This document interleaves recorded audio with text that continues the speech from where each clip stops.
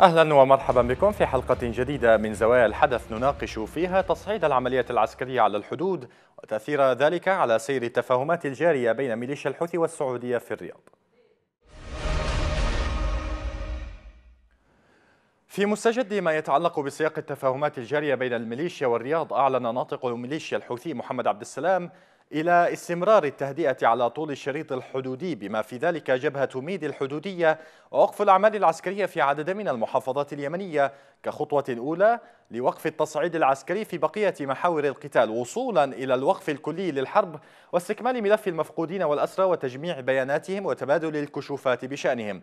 جاء تصريح ناطق الحوثيين بالتزامن مع عودة المواجهات إلى الحدود اليمنية السعودية بعد فترة من التهدئة. استدعتها التفاهمات الجارية في الرياض بين الميليشيا والسعودية وتخللتها عملية تبادل للأسرى بين الطرفين. مصادر إعلامية سعودية قالت إن ميليشيا الحوثي عاودت مهاجمة المناطق الحدودية وتحديدا منطقة الربوعة إذ شهدت يوم أمس أعنف مواجهات بين الطرفين. وأعلنت قناة الإخبارية السعودية مقتل أكثر من 100 حوثي في تلك المعارك بعد عملية هجوم واسعة شنها الحوثيون. وهذا الأمر يهدد الهدنة التي أعلن عنها في الثامن من مارس الماضي بوساطة, بوساطة شخصيات قبلية واجتماعية.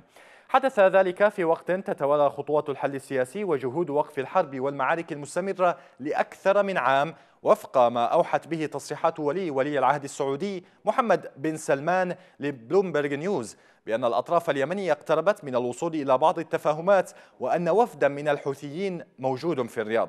كذلك تأكيدات وزير الخارجية السعودي عادل جبير بأن تقدما تحقق في مسار التفاهمات الجارية بين الحوثيين وبلاده في الرياض. لكن قيادات في ميليشيا الحوثي نفت وجود أي وفد يمثلها في الرياض وقال عضو المجلس السياسي للميليشيا محمد البخيتي إنه لا وجود لممثليهم في الرياض وهو ما اعتبره محللون تضليلا واضحا لمناصريهم الذين يخوضون حربا عبثية على الحدود وأيضا وفقا لتصريحات محمد عبد السلام الأخيرة. أثر التصعيد العسكري في الحدود على سير التفاهمات الجارية والمحادثات المرتقبة عنوان حلقتنا لهذا اليوم من زوايا الحدث. قبل قبل أن نبدأ النقاش نذهب لمتابعة هذا التقرير. من بوابة الربوعة يسعى الحوثيون لمغادرة الحرج الناجم عن إعلان وزيري الخارجية والدفاع السعوديين وجود وفد حوثي في الرياض لإجراء مفاوضات مع الجانب السعودي لإنهاء الصراع على المناطق الحدودية. الوفد الحوثي في الرياض مستمر في المفاوضات المبنية على خطوات التهدئة والتفاهمات التي أعلن عنها الناطق باسم ميليشيا الحوثي محمد عبد السلام عقب عملية تبادل الأسرى قبل أكثر من أسبوع. لا أحد يعرف حتى الآن فحوى الاتفاق السعودي الحوثي بالرغم من التطمينات السعودية التي أعلن عنها وزير الخارجية السعودي عادل الجبير في مؤتمر صحفي وصفها بالمطمئنة.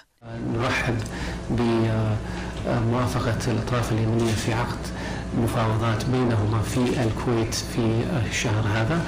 ونحن نأمل أن, أن, أن, أن, أن تصل هذه المفاوضات أو التشاورات إلى حل يؤدي إلى الأمن والاستقرار في اليمن ويؤدي إلى تطبيق قرار مجلس الأمن 22 16 الموقف الحوثي ما زال غامضا حول تلك المفاوضات ولم يصدر تأكيد أو نفي بخصوصها من الحوثيين. كان ينظر للتفاهمات على الحدود بأنها تمهد لملف التفاوض في الكويت وإقفال للتوتر الحدودي الذي لطالما كان الملف الأكثر إزعاجا للسعودية. عودة التوتر للحدود يمكن قراءته في سياق الاحتجاج الحوثي على تعيين الفريق علي محسن في منصب نائب رئيس الجمهورية في هذا التوقيت الحرج وهو ما قد يعني إحساس الحوثيين بأنهم وقعوا في الخديعة وبالتالي تراجع أي فرص لوجود حل سياسي يناسب الميليشيا ويضمن لها التفوق وهو يكشف مدى التخوف عن أن وجود محسن في هذا المنصب يعني تعزيز خيار الحسم العسكري بعد نجاح السعودية في تأمين حدودها بتوقيع اتفاق مع الحوثيين. غير أن موقف الحوثيين تغير تماما وعاودوا مهاجمة المناطق الحدودية وبحسب المصادر الإعلامية السعودية فقد شهدت منطقة الربوعة يوم أمس أعنف مواجهات بين الطرفين حيث أعلنت قناة الإخبارية السعودية مقتل أكثر من مئة حوثي في تلك المعارك بعد عملية هجوم واسعة شنها الحوثيون وهو ما يهدد الهدنة التي أعلن عنها في الثامن من مارس الماضي بوساطة شخصيات قبلية واجتماعية يمنية. بات واضحا أنه لا يمكن إيجاد حل جزئي للأزمة اليمنية وأن ما يحدث في الحدود ينعكس بالضرورة على الأوضاع في العمق اليمني وأنه لا يمكن إطفاء الحرائق إلا بكنترول موحد يشمل الداخل قبل الخارج. ينضم إلينا مشاهدين الكرام الباحث في الشؤون الاستراتيجية الدكتور عبد الله الغيلاني. مساء الخير دكتور عبد الله مساء الخير حياكم الله. دكتور آه، يعني هل يبدو البيت الخليجي موحد ازاء التفاهمات الجارية بين السعودية آه، وميليشيا الحوثي في الرياض وكذلك يعني يعني الداخل داخل التحالف العربي بشكل عام؟ بسم الله الرحمن الرحيم. الحمد لله والصلاة والسلام على رسول الله. أولا لابد أن نعرف البيت الخليجي. البيت الخليجي إذا كان يقصد به دول مجلس التعاون أو منظومة التعاون ما عدا سلطنة عمان فنعم هناك توافق. سياسة التعاطي مع اليمن بدءا بال يعني العملية العسكرية التي أطلقت في مارس من العام المنصرف ومرورا بالتفاوض السياسي الجاري الآن. ولكن سلطنة عمان بطبيعة الحال كما نعلم جميعا لها سياسات مختلفة ومقاربات مختلفة إزاء الأزمة اليمنية. آه، لكن آه، دعني آه، أقول أن أن الأزمة اليمنية خلال الأسابيع المنصرمة دخلت في في منعطف. واضح جدا أن هناك تحول جذري في مسارات الأزمة اليمنية. وجود وفد حوثي في الرياض وبصرف النظر عن آه، إعلان الحوثيين أنه لا يوجد يعني وفد تفاوض لهم في الرياض ولكن الإعلان عن هذا الوفد جاء على لسان آه، آه، يعني مستويات عليا في القيادة السعودية الأمير محمد بن سلمان ولي ولي العهد في مقابلته مع موقع الموقع بلومبرج نعم. الأوروبي قبل بضعة أيام أعلن نعم بلومبرج أعلن أن هناك وفد يعني حوثي في الرياض وأن هناك عملية هكذا بالنص قال أنه عمليه تفاوضية واسعة. تجري الآن حول يعني الملف اليمني. آه، عادل جبير وزير الخارجية السعودي أكد هذا في المؤتمر الصحفي قبل آه، يومين. اذا هناك تحول في هذه المسألة. آه، هدنة مرتقبة تبدأ في العاشر من هذا الشهر. هناك مفاوضات في الكويت حتبدأ في الثامن عشر من هذا الشهر. أيضا إنه اذا هناك من التحولات والإرهاصات تدل دلالة قاطعه على أن الأزمة اليمنية آه، تمر بمنعطف. آه، هذا المنعطف يعني عنوان عنوان المرحلة الآن. آه، لك أن تقول أن عنوان المرحلة هو أن عاصفة الحزم لم تؤتي أكلها بعد مرور أكثر من عام عام ويعني شهر تقريبا لم تؤتي أكلها أي أنها لم تحقق ال ال يعني الأهداف الرئيسة التي من أجلها أطلقت وبالتالي آه، يعني التحالف الآن صار إلى الحل السياسي. آه، هذا التحول يعني الرئيسي وهذا هو عنوان المرحلة القادمة أن المراهنة على التفاوض السياسي، لكن هذا التفاوض السياسي آه، يعني ما هي ملامحه؟ ما نعم هي خصائصه؟ ما هي منتجاته النهائية؟ نعم دكتور طيب آه، في هذه النقطة دعني آه، دعنا نشرك في الحوار معنا الباحث السياسي الأستاذ عبد العزيز المهنا معنا من الرياض مساء الخير أستاذ عبد العزيز أهلا وسهلا أستاذ عبد العزيز تسمعني؟ يا يا أهلا وسهلا نعم أهلا بكم أستاذ عبد العزيز إذا ما تحدثنا عن ما تتداوله وسائل الإعلام السعودية حول الاتفاقات الجارية بين الطرف السعودي وبين الحوثيين ما هي فحوى الاتفاقات التي تجري بينهم بحسب آه، يعني متابعتك لهذه الوسائل؟ اولا الحوثيون هم الذين وصلوا إلى الرياض ولم يكن لدى السعوديه اي طرف وصل إلى اليمن. الحوثيون هم الذين سيقدمون رؤية جديدة لإيقاف الحرب وإنهاء القتال. أستاذ أستاذ عبد العزيز أرجو منك رفع الصوت قليلا. أقول آه، في البداية أود التأكيد تفضل. الوفد الحوثي وصل إلى الرياض ولم يكن هناك وفد سعودي وصل إلى اليمن لاستقدام هذا الوفد. وهو الذي قدم قدم من نفسه وهو الذي يريد أن يأتي بجديد في آه، عناوين حل الحرب. نعم. الحرب التي قامت آه، ليست حربا بين السعودية واليمن. اليمن والسعودية علاقاتها علاقات متينة وقوية. الحرب هذه حرب طلبتها الشرعية لتحل محل الانقلاب الذي أخذ الحكم غصبا بعد الانتخابات. عاصفة الحزم ليست كما ذكر الأخ الكريم إنها لم تؤدي إلى اهداف لم تؤدي أهدافها بل بالعكس عاصفة الحزم يعني حققت أهدافها وبقوة في ذلك الوقت قبل المعركة ما كان الحوثيون ولا علي صالح يرغبون في استمرار التفاوض وإحلال الشرعية. هو هو, لربما في هذه النقطة آه، للدكتور عبد عبد الله الغيلاني أسبابه في في هذه النقطة. لكن كان سؤالي آه، آه، أستاذ عبد العزيز عن فحوى الاتفاق السعودي الحوثي بالنسبة أو بالنظر إلى التفاهمات التي تحدث عنها ولي ولي العهد وكذلك وزير الخارجية على الجبير التفاهمات أنا أعتقد أنها لا تتعدى قرار مجلس الأمن 2 2 16 ولا تتعدى أيضا مخرجات الحوار ولا تتعدى أيضا الورقة الخليجية التي ضمت مبادرة لدول المجلس.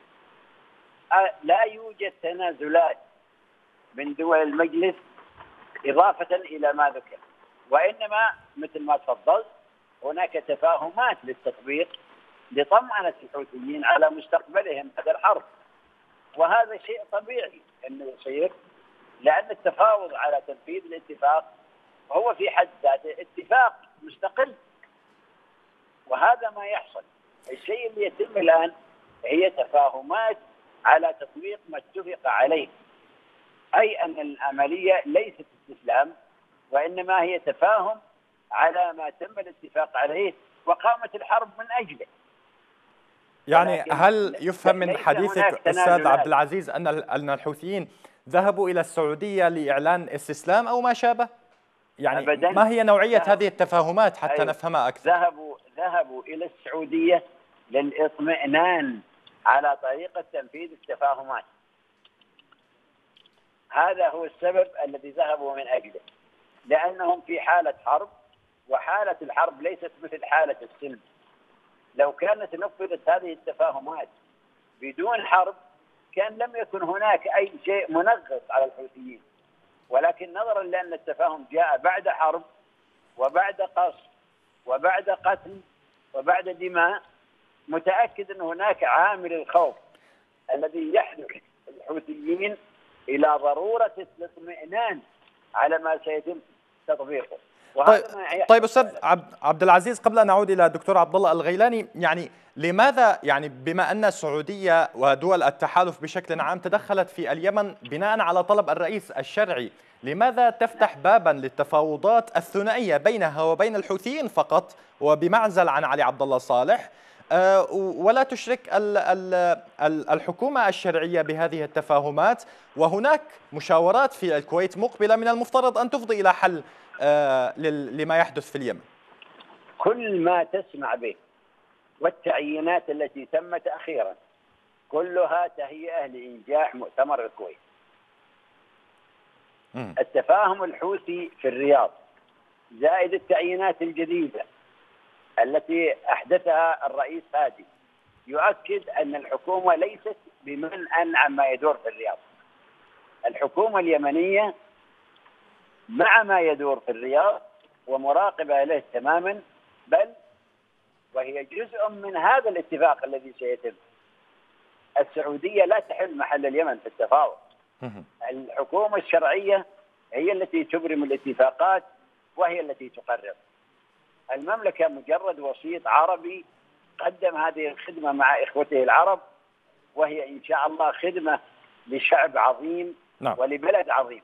طيب في آه، دعني انتقل أو أعود إلى الباحث في الشؤون الاستراتيجية الدكتور عبد الله الغيلاني. دكتور عبد الله آه، سمعت كلام الأستاذ آه، عبد العزيز مهنا. كذلك هناك نقطة مهمة حدثت اليوم وهو تصريح لمحمد عبد السلام.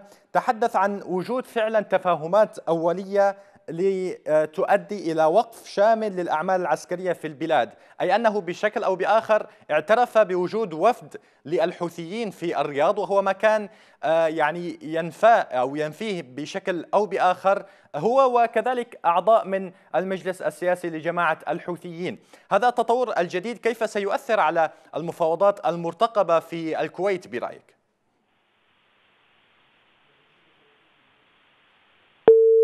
دكتور؟ إذا فقدنا الاتصال بالدكتور عبد الله الغيلاني. أعود إلى الأستاذ عبد العزيز المهنأ. أستاذ عبد العزيز آه الآن هناك مشاورات آه سياسية مقبلة مفترضة في الكويت وهناك أيضا عمليات عسكرية آه سواء في اليمن أو في كذلك على الشريط الحدودي مع السعودية. بالنظر إلى هذا الواقع حاليا كيف ترى مدى التزام الحوثيين آه، تفاهمات أو اتفاقات مستقبلية. أنا أعتقد أن الحرب في نهايتها دائما وأبدا يأتي فيها تخلخلات. أي أن هناك عامل عدم الثقة عامل الخوف عوامل كثيرة. إلى الآن لم تتبلور عملية الثقة بين الجانبين. فوضع طبيعي أن يكون هناك مآخذ ليس فقط على الحدود حتى في القرى اليمنية فيه الآن حرب في في لحج وفي البيضة وفي الضالع وفي أماكن كثيرة في اليمن. يعني أن أن نهاية الحرب دائما تكون بهذا الشكل. لا تنتهي الحرب دفعة واحدة إلا بعد ما يأمر القادة بإلقاء السلاح وأن على الجنود أن يذهبوا إلى سكناتهم. وبإشراف دولي أنا أعتقد أن هناك اشراف دولي هو الذي سيأخذ باعتباره أسلوب إيقاف الحرب وعندما يقف الحرب يكون هناك ثقة متبادلة بين الجانبين في التخلي عن المواقع وفي إلقاء السلاح وفي التهيئة لبناء الدولة المتحضرة الحديثة إن شاء الله. لكن هناك يعني حديث من قبل ولد الشيخ عن عدم وجود ضمانات أو آه، يعني مؤكدات ما يعني أشياء ملموسة حتى يلتزم الأطراف أو تلتزم الأطراف بوقف هذه الحرب وبالاتفاقات أو التفاهمات التي ستنتج عن مشاورات الكويت القادمة. ويبدو واضحا أن هناك يعني كان هناك اتفاق أو تهدئة على الحدود مع السعودية، الآن عادت هذه الأمور إلى ما كانت عليه من دخول واستهداف إلى مناطق السعودية مثل الربوعه كما آه، تناقل في وسائل نعم. الإعلام السعودية، اذا كيف نقرأ هذا التناقض أستاذ عبد العزيز؟ هذا ليس تناقضا، هذه حاله الحرب وأوضاع نهايتها. آه، الحروب التي حدثت سواء في العالم العربي أو في أي عوالم أخرى سواء آه، حتى الحرب الكورية عندما حصلت لم تنتهي بالبساطة اللي نتصورها الحروب اللي بين العرب وإسرائيل ظلت قائمة إلى أن قامت الأمم المتحدة بوضع حد للحرب. دائما وابدا يجب أن يكون هناك طرف يتفق عليه الجانبين على أن على أنه هو مصدر الثقه في إلقاء السلاح. أنا أعتقد إنه وجود الأمم المتحدة ممثلا في الدول العربية ربما ينهي آه هذه الأزمة. وهناك دول عربية يرتبط معها الحوثيون وعلي صالح ويؤمنون بأنهم أصدقاء لهم. ممكن أن تكون هناك مساهمات لقوه عربية آه تكون قادرة على إقناع الحوثيين أنه لن يكون هناك غدر أو إخلال بما اتفق عليه. طيب يعني هناك آه، من جهة أخرى آه، أستاذ عبد العزيز مخاوف أساسية تتعلق بماهيه ما يحدث من قبل آه، السعودية في اليمن خصوصا في ظل عدم تحقيق واضح ل يعني أهداف عمليات التحالف يعني هناك حديث عن أن التحالف كان هدفه الأساسي هو إعادة الشرعية إلى صنعاء. إلى حد الآن لم يحدث هذا الهدف. هناك مخاوف من آه، طبيعة التفاهمات التي تحدث في السعودية في قبل يعني فترة قريبة من مشاورات الكويت المرتقبة. كيف يمكن طمأنة من يتخوف من هذه النقطة؟ يا سيد العزيز ليس هناك ما يجعل الدول تتباطأ في السلام. السلام ما دام رضيه الطرفان الوصول إليه سهل جدا. الوصول إلى السلام سهل.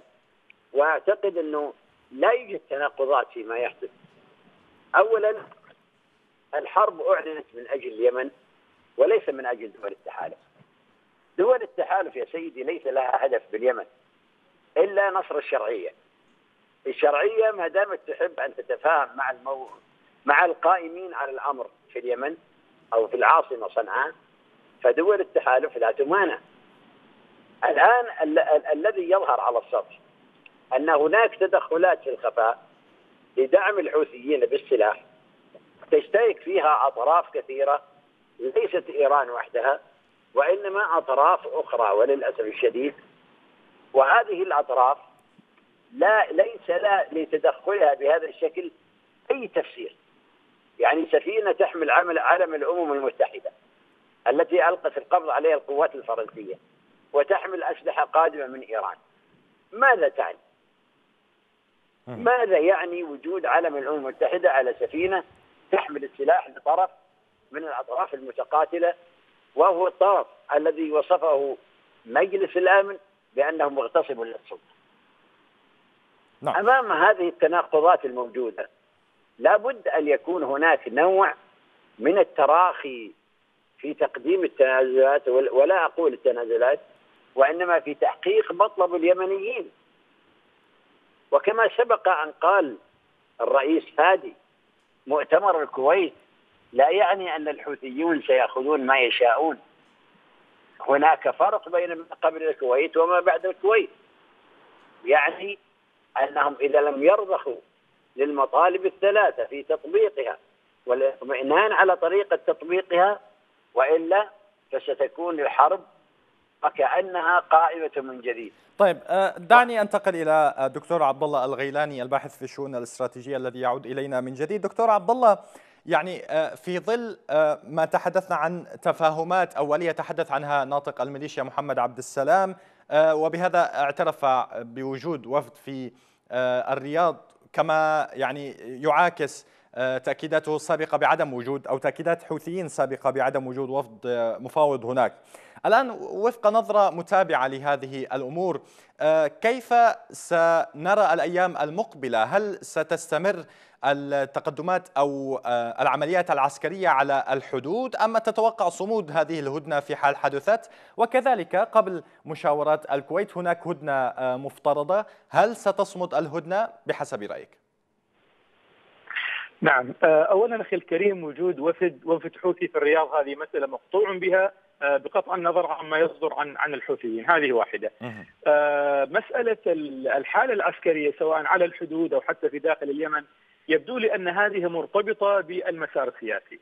إذا حدث تقدم في المسار السياسي فذلك سوف ينعكس على الحالة العسكرية على الأرض. إذا حدث تعثرات مثل هذه يعني المناوشات سواء الحدودية أو في داخل اليمن إنما تستخدم كأدوات ووسائل للضغط من أجل تحريك المسار السياسي. لكن هناك ما هو أهم من ذلك بكثير. يعني يعني بعض ال بعض ال بعض ال الاعتداءات الحوثية على حدود المملكة وعلى بعض يعني أراضي المملكة أو المدن المتاخمه لليمن، المدن السعودية المتاخمه لليمن، أظن هذه يعني كلها مسائل تكتيكية ومسائل جزئية، هناك ما هو أكبر من ذلك وهو اليمن مقبل على ماذا؟ كما قلت في في بداية الحديث أن هناك تحول جذري، اليمن اليوم يمر بمرحلة انتقالية عنوانها الحل السياسي. لكن الحل السياسي على أي قاعدة؟ التفاوض على ماذا؟ هناك قرار اممي الحوثيون إلى الآن لم يصدر عنهم ما يشي بأنهم على استعداد للقبول بتنفيذ هذا القرار. هل التفاوض سواء ما يجري في الرياض اليوم أو ما سيحدث في الكويت بعد يعني عشرة أيام أو نحو ذلك، هل التفاوض حول اليات وكيفيات تنفيذ القرار الأممي 22 16 أم أن التفاوض يجري حول قضايا أخرى؟ طيب يعني وبحسب يعني دكتور عبد الله يصدر عنهم كما قلت؟ دكتور عبد الله يعني بحسب أن يعني كانت هناك آه، الكثير من المفاوضات السرية في آه، سلطنة عمان ما بين الحوثيين والأمم المتحدة وكذلك حتى قيل أن هناك آه، وفود سعودية وصلت إلى هناك في وقت ما. لكن يعني بحسب متابعتك وحسب معرفتك بالخصوصية التفاوض مع الحوثيين هل ترى أن هناك واقع جديد أو آه، نوع جديد من الدبلوماسية تفرض الآن بسبب التقدمات العسكرية على الأرض أو بسبب الشروط الموضوعية التي تحدث أو تفرضها العمليات على الأرض من حيث أن عمان آه، في هذه الناحية بات دورها آه، وضوحا، هناك دور بارز للكويت كمكان للمشاورات المقبلة وهناك وجود وفد كما قلت أنت وجود قاطع للحوثيين في الرياض. فهل هناك تغيرات جديدة؟ ما الذي ستفرض هذه التغيرات؟ أنا أخي يبدو لي آه لما قلت أن عملية الحزم آه لم تؤتي ثمارها كاملة كنت أقصد آه أن هذه العملية انطلقت في السادس والعشرين من مارس من العام المنصرم وكان يفترض أنها تطيح بالحوثيين وتستعيد اليمن كاملة صحيح أن عملية الحزم أو عاصفة الحزم منعت الحوثيين من ابتاع من ابتلاع اليمن، منعت الحوثيين من التمدد يعني اقليميا، منعتهم من إقامة الكيان العقائدي الطائفي الذي كان يجمعون إقامته في اليمن. صحيح أنها حققت كل هذا ولكن وهذا فيه رد على سؤالك الآن ولكن هذه القوة الحوثيون وحليفهم علي عبد الله صالح مع الدعم الإيراني لا زال يمثل رقما صعبا في المعادلة اليمنية أي أن الحوثي لم ينكسر عسكريا لم ينكسر انكسارا كليا. فلم تستعض صنعاء لم يسلم السلاح لم يتحول إلى يعني مجرد قوة سياسية ضمن منظومة القوى السياسية في اليمن. فالحوثي يبدو لي أنه اليوم رغم الهزائم الجزئية التي ألحقت به ولكنه لا يزال يفاوض من موقع قوة نسبيا. بدليل كما قلت قبل قليل أنهم لم يعترفون أصلا بالقرار الأممي 22 تستعجر وبالتالي أنا أستبعد أن يكون التفاوض في الكويت القادم حول آليات تنفيذ هذا القرار وإنما حول المبادئ حول المبادئ الكلية، أنا كنت أتمنى كنت أتمنى أن عاصفة الحزم بعد مرور سنة كاملة أنها تقتلع يعني شوكة الحوثيين، تكس هذه القوة عسكريا، تجبرهم اجبارا على القبول بالمسار السياسي والتفاوضي وإعادة إنتاج أنفسهم يعني قوة سياسية. هذا كله لم يحدث، هذا كله لم يحدث، وبالتالي أنا أتصور أن يعني المفاوضات سوف تأخذ يعني وقتا أطول من المتوقع. نعم دكتور. وأيضا أيضا دعنا نضع هذه المسألة في الإطار الإقليمي الكلي. الرئيس أوباما مثلا والولايات المتحدة هي لاعب رئيس في هذه المسألة في كل هذه الملفات بما فيها الملف اليمني. الرئيس أوباما في مقابله مع يعني أتلانتيك قبل بضعة أيام قال يعني عبارة آه، ذات مدلول استراتيجي مفزع حقيقة.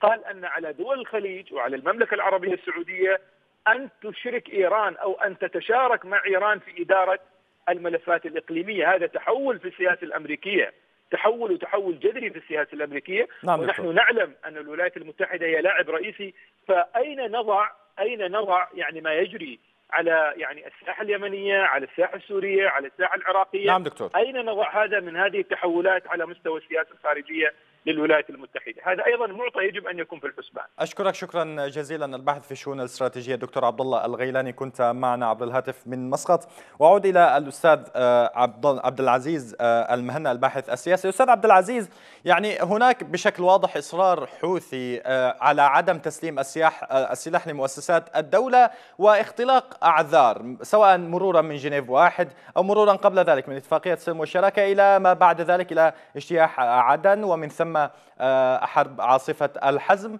وجنيف واحد آه، جنيف اثنين والآن الكويت. هناك يعني آه، يعني مراوغة سياسية يلعبها الحوثيون في هذا الخصوص.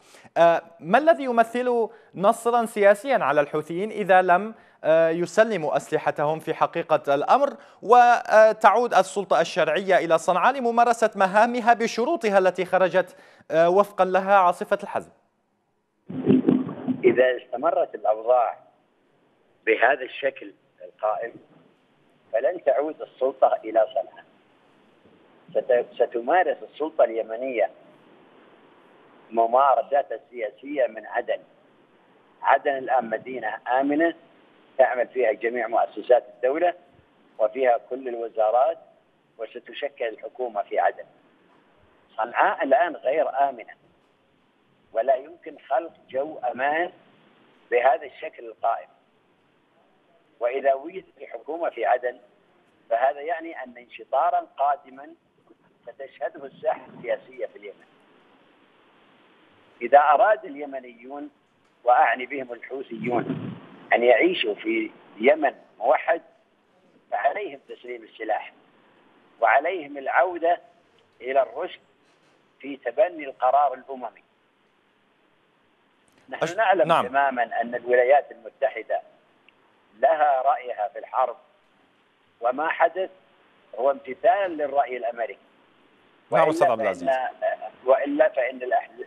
فإن التحالف العربي قادر على إنهاء المعركة بقوة السلاح. ولكن تدخلات الولايات المتحدة نعم أستاذ عبد العزيز. وإيران وإيران وإشهارهم هذا التدخل هو ما جعل التحالف بقيادة المملكة والحكومة الشرعية تلجأ إلى عملية التفاوض وليس التنازل. شكرا شكرا لك أستاذ عبد العزيز المهنا الباحث السياسي. كنت معنا عبر الهاتف آه، من الرياض في حلقة اليوم. كما هو شكر موصول لكم مشاهدينا الكرام على حسن المتابعة والإصغاء في ختام الحلقة. تقدم تحياتي أنا مقدم الحلقة وجيه السمان وتحيات الزميل محمد القاسم في الأعداد. إلى حين الملتقى دمتم والوطن بألف خير. إلى اللقاء.